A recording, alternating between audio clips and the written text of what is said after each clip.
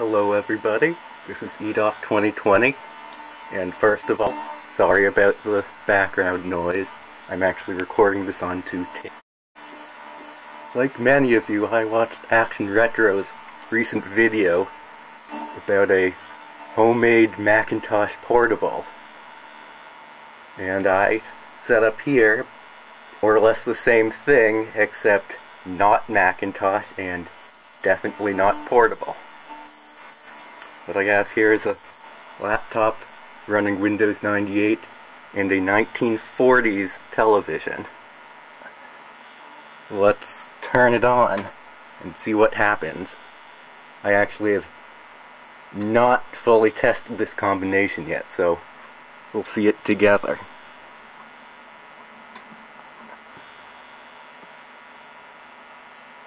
And of course, this is all vacuum tube, so it takes a bit of time to warm up.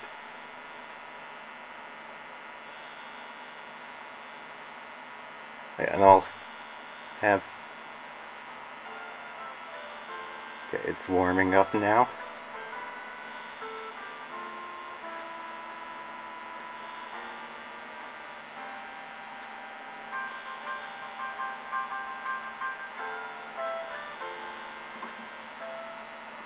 So, uh, yeah, hopefully you can see that.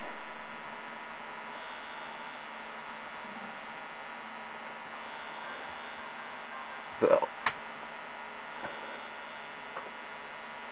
of course this is, you know, Windows 98,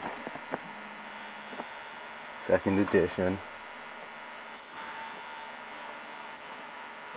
You can see that now. And running it on 1940s television in Emerson 611 and I'm planning on having another video about this. In the meantime, you can see it works and um, I guess I'll finish this off with a quick game of Minesweeper. So, yeah, if you like this video, feel free to like, subscribe, comment, and share. And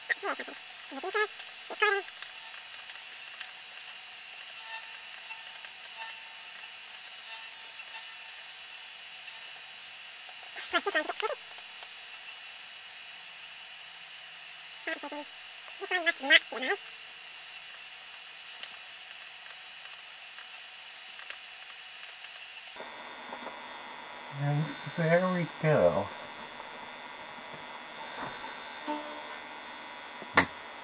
Minesweeper. See you next time.